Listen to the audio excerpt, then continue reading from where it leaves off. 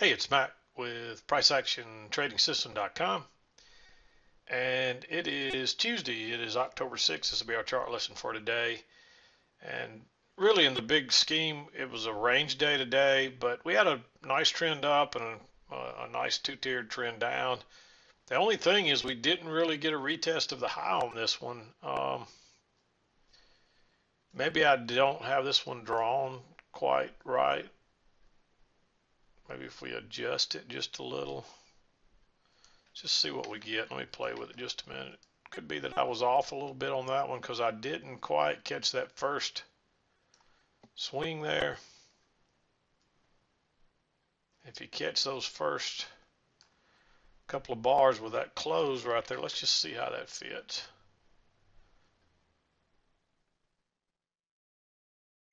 Hmm. Yeah, I mean, looks like maybe I missed that one. I, originally had mine a little flatter uh, based off the upper side. But I can see now I probably missed that one. So I got a little, um, I couldn't figure, you know, I was a little miffed when we didn't get a retest here. But you get a real clue here that something has changed. And let me show you this because this is a really important learning point right here. Uh, notice how the e, how prices made a high here and shot right through that EMA. There's there's no it, it tried to get a little resistance and just kept going, and you so you really get very little resistance. You pull back, and then it shoots down again, and then it pulls back and tests it again and goes down. That is telling you something's wrong. Um, something has changed, and so even though I didn't quite read that channel right um, you still had clues that something was going on here. And generally, you can kind of see that prices are swinging back and forth both sides all day, uh, even in this downtrend. So that tells you that there's, you know, that it's kind of a range day. And it doesn't surprise me that we had a range day after rallying almost 100 point, you know, 80 points in the last couple of days. Uh, we were overdue for a, uh, for you know, some congestion and kind of a range day and let the market consolidate a little bit. That's typical. But um, yeah, this was a good learning point because um, I missed this channel. And it shows you don't have to, you know, you can, you can be close. You don't have to get it exactly right and you still can generally come out.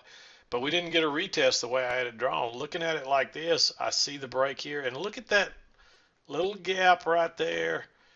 It gaps over the trend line closed on its low, opened on its low, and it never could back up and fill it there.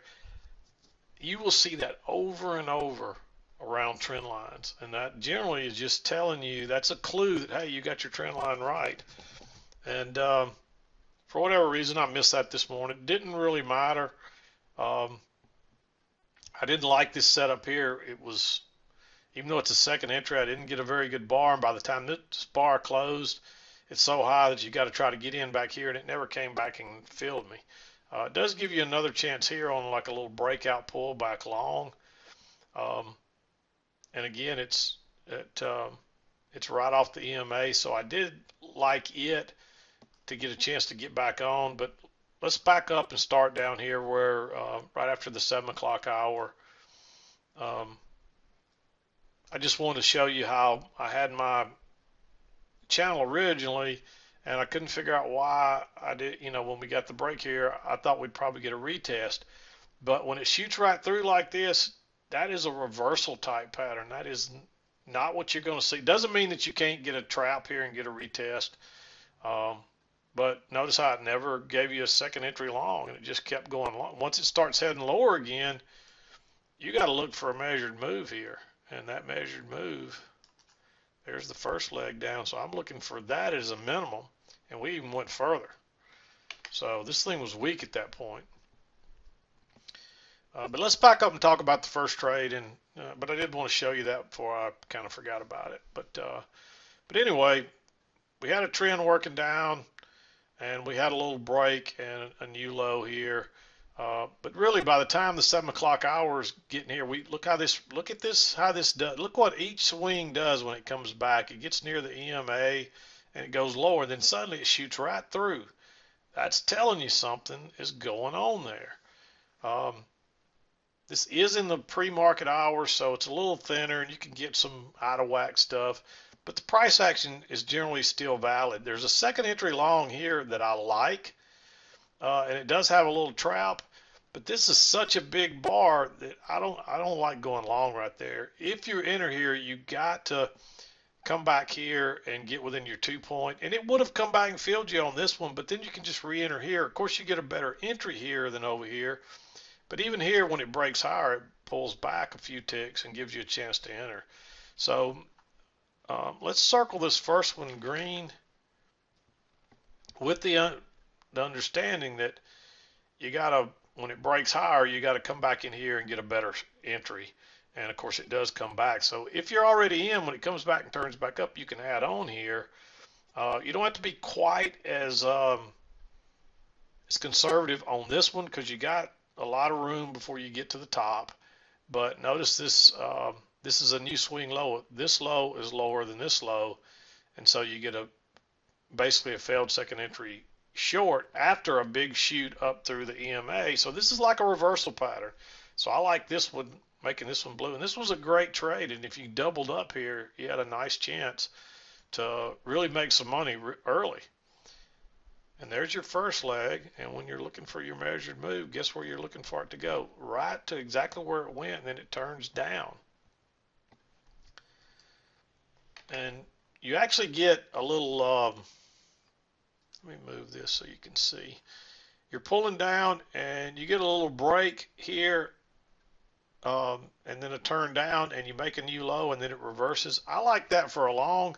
Uh, it's a second entry long as well, but you get that little failed that little trap right there and the bounce right off the EMA. But look at the new high pullback first entry, pullback second entry.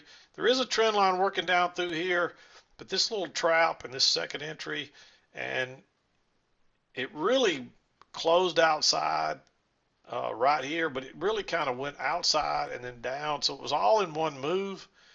Um, it's a little different, but I still like that one uh, because this thing was pretty strong, and I figured we'd test that high again. I really thought we may go higher, but we tested that high and then turned down. And then I don't like entering here. Uh, this is a second entry long, but this low is lower than those lows. Look how it shot right through the EMA. That's not a good sign.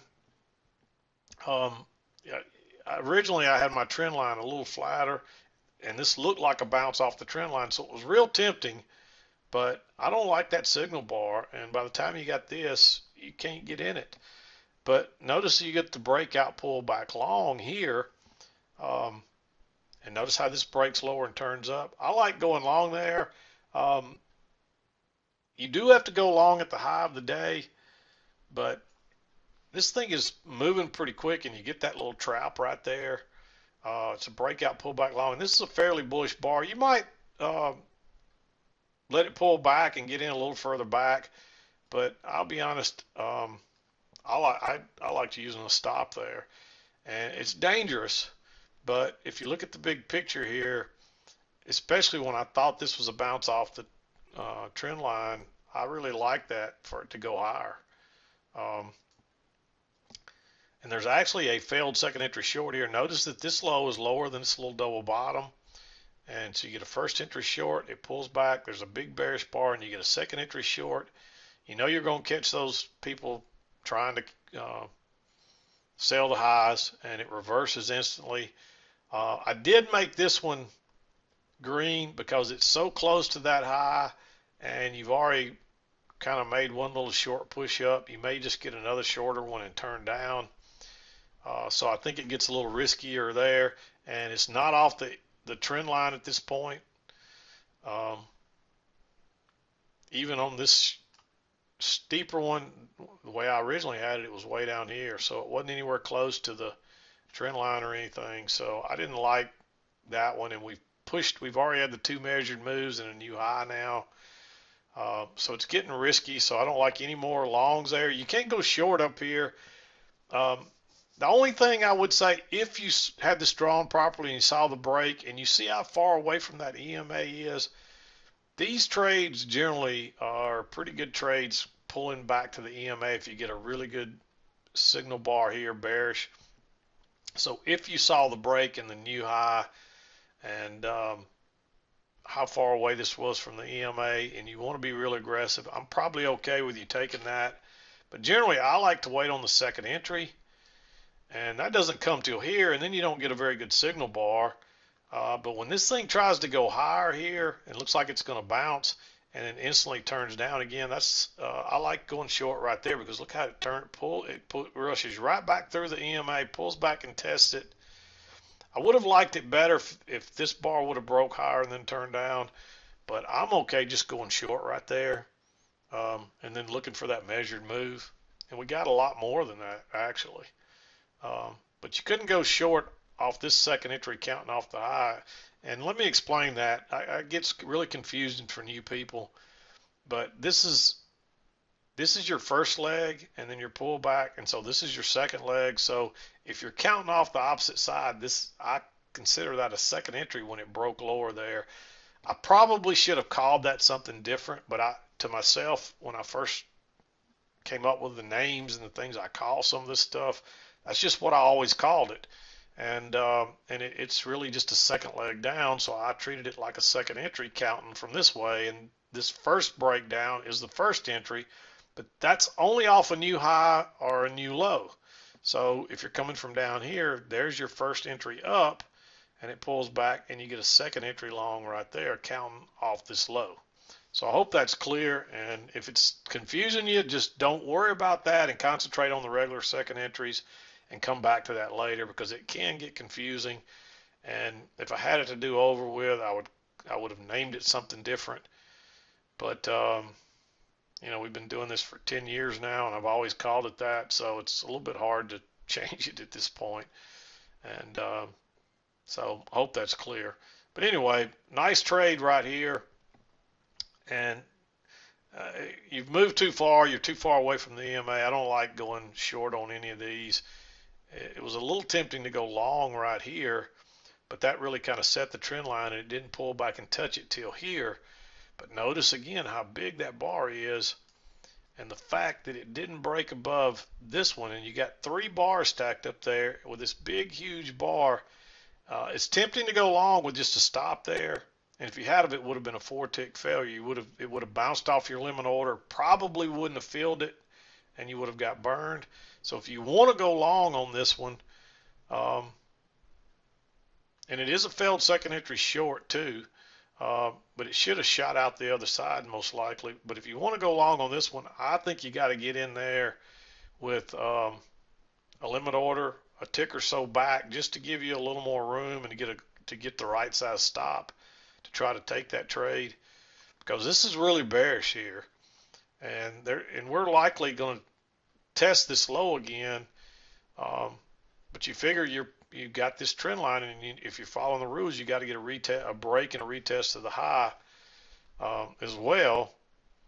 And so that's why I like the long here. Notice you're pulling back first entry, pull back second entry, but more than that, notice the double, really a triple bottom right across there, and then this makes a little higher low uh, on a second entry, and so and it's really a failed second entry short. You definitely don't want to go short there because it's right into this support and you just had the break of this so um, you're likely to get a retest. So I like that one.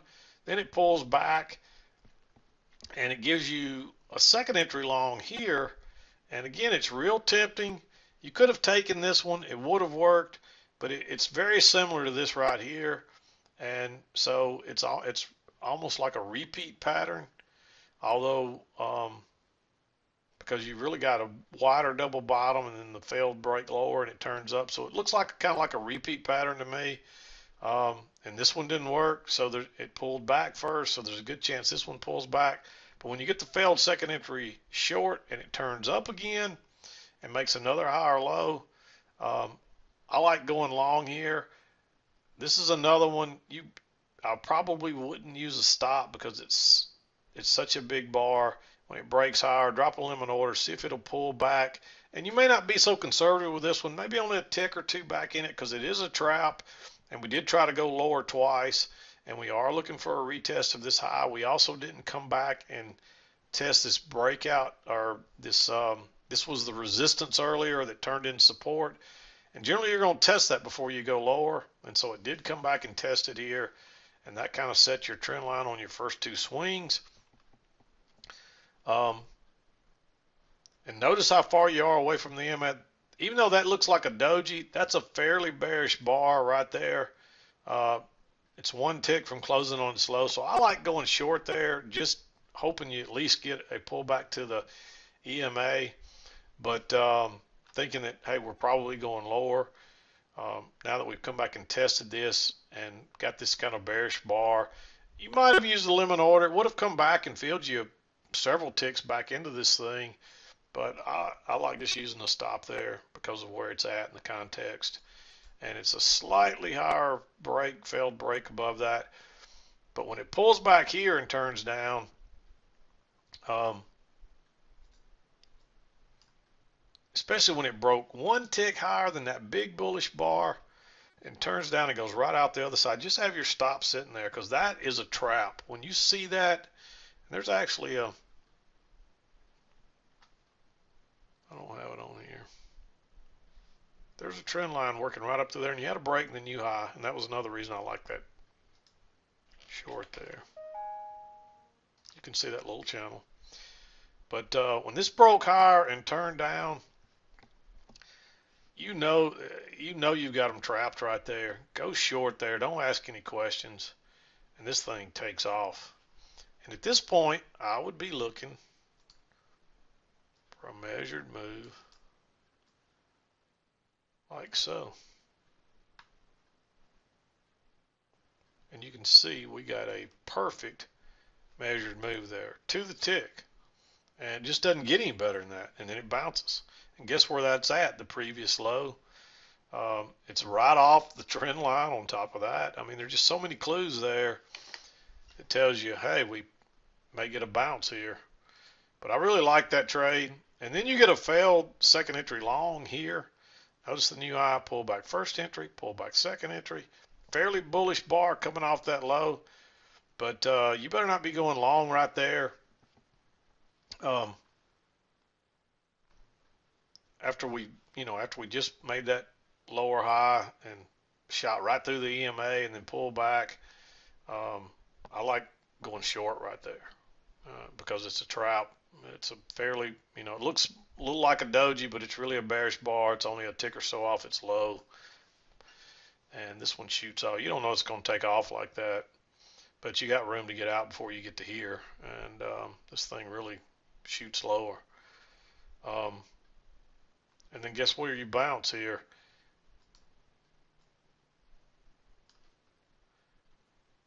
Notice what happens here. You pull back, you get a first entry, you pull back. This is a really bearish bar. Um, I don't like going short right there, the, the, but when it turns up again and turns back down, this is like a breakout pullback short. Um, but what I what I actually actually let me back up. This is actually your signal bar, and notice the little double top and the one tick, and it turns down, and how bearish it is. But you can't go short right into that low. So what you want to do here is it when this breaks lower and triggers, if you can get in back up here, which you could have, I'm okay with taking that trade because that's the first break of this channel, and this is really bearish. Your measured move is way down here your low of the day is way down here. There's a good chance we're going to get through there, uh, but you can't go low too close to this last low. You really don't. You, you've got a little support across there at this point, but when it breaks lower, that's like a breakout pullback short as well. It's like a failed second. It's a failed second entry long. It's a double top with a one tick break above it. So there's a lot of reasons like that one. It is a little aggressive though, so I circled it green based on the fact that you got to get in a little further back on that one. Otherwise, just skip it because you don't want to get trapped going short right here and it bouncing when it gets here. And it did bounce. It didn't get above the signal bar, but look what happened when it met that low, it bounced. So if you didn't get in a little further back, you had to ride this bounce out.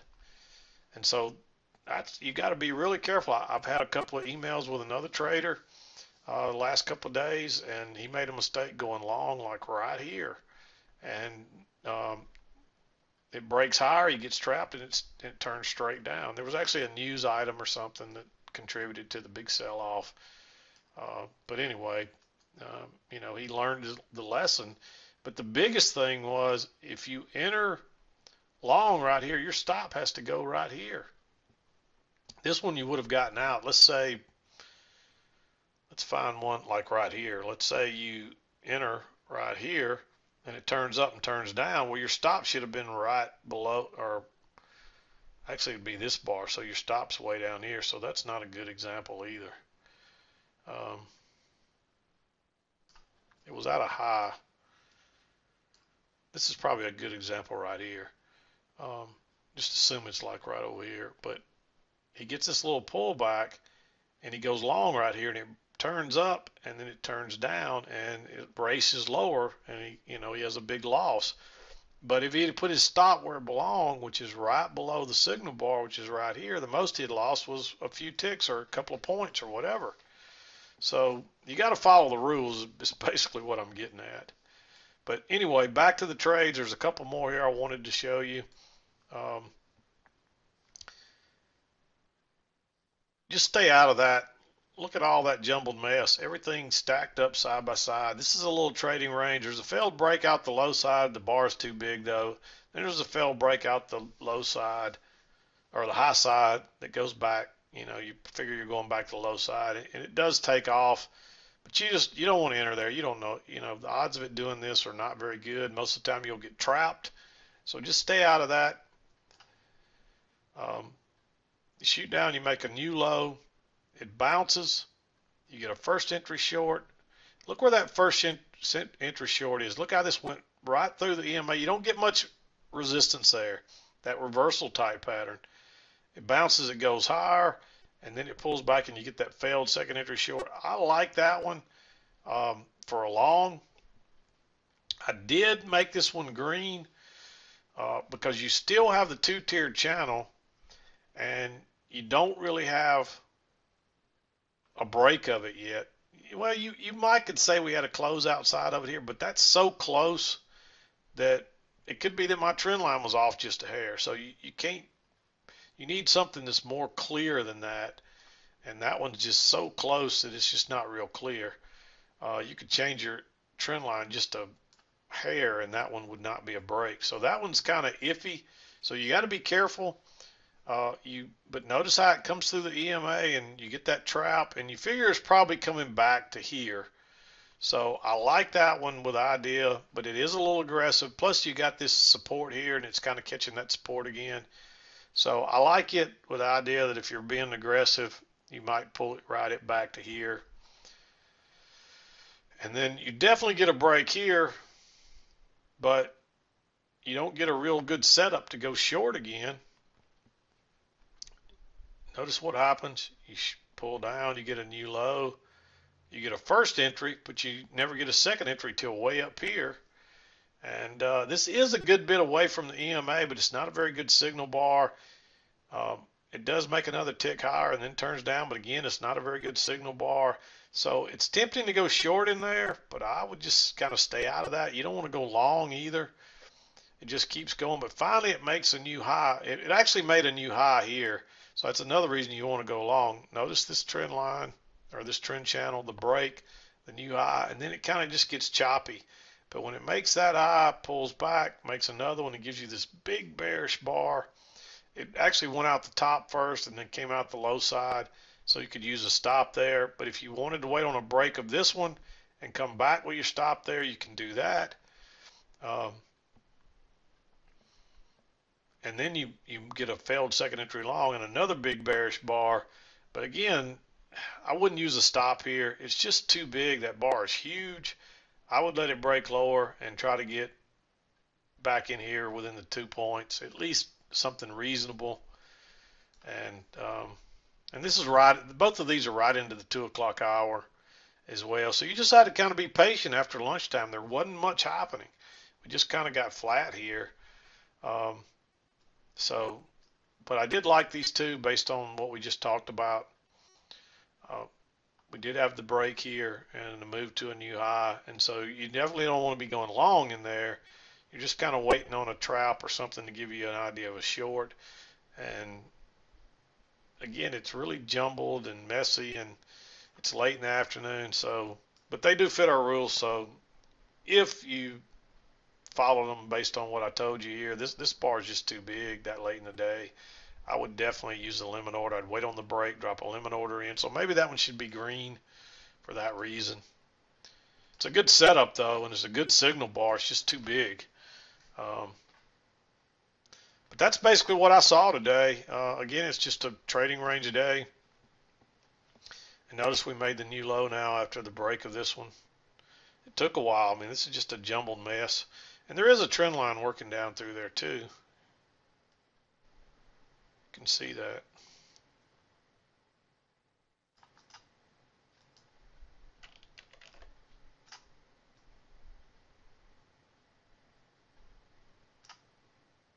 It's probably a little flatter maybe.